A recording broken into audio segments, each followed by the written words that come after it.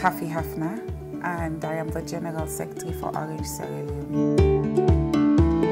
I joined the company in 2012. Back then it was Airtel. So I started off as a legal officer and then I also occupied varying positions. Currently as General Secretary, I have public relations, legal and regulatory, corporate social responsibility and compliance within my scope.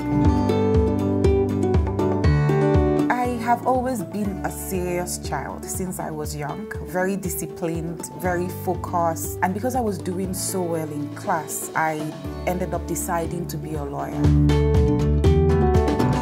I do believe in hard work and I want to be seen and to be known as someone that has integrity. I am very, very lucky and blessed to have been the very first Sierra Leonean and Sierra Leonean woman to be holding the delegation of authority um, in the absence of the CEO, meaning every time the CEO is away, I act in the capacity of CEO for Orange Sierra Leone. This has been my biggest and greatest blessings.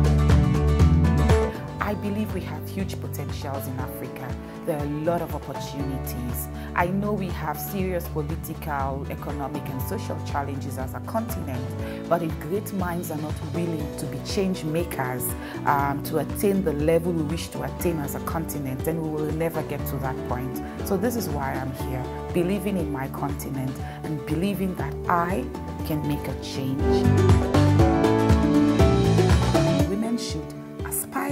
Women should be ambitious.